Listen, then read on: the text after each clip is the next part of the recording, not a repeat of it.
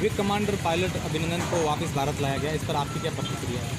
ये बहुत एक राजनीतिक और डिप्लोमेसी की सफलता है।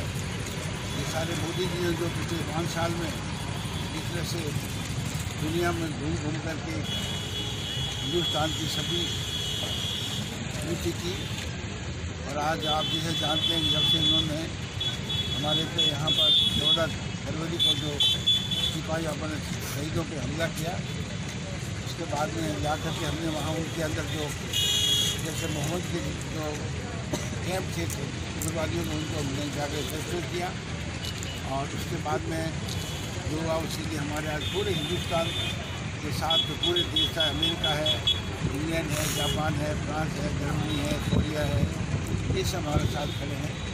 और आज की तारीख में पाकिस्तान अलग थलग पड़ गया है।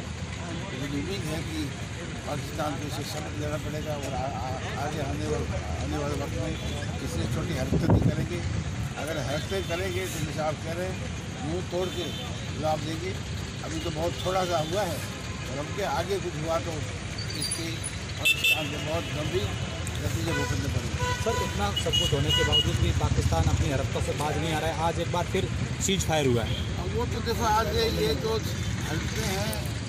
कई अभी कई दिनों से कर रहा है, कई सालों से कर रहा है तीस चालीस साल से कर रहा है।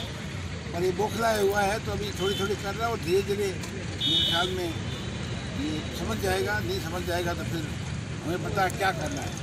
हमने पहले सर्जिकल स्ट्राइक की और उसके अंदर जाकर कैंपों को दृष्टि किया।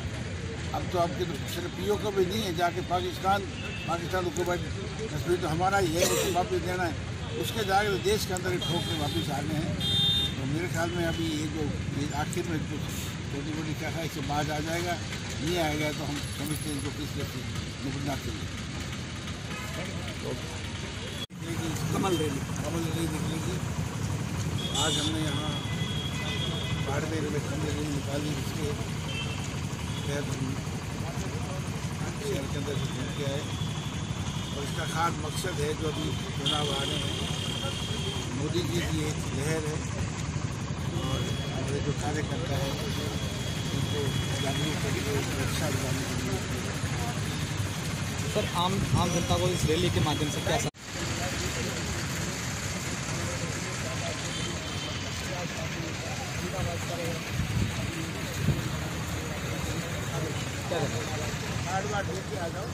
प्रधानमंत्री और मुख्यमंत्री की सहायता है। पास दफ्तर में आ जाओ। कागज़ हाँ आपके ऑफ़िस में आ जाओ। अगर डॉक्टर के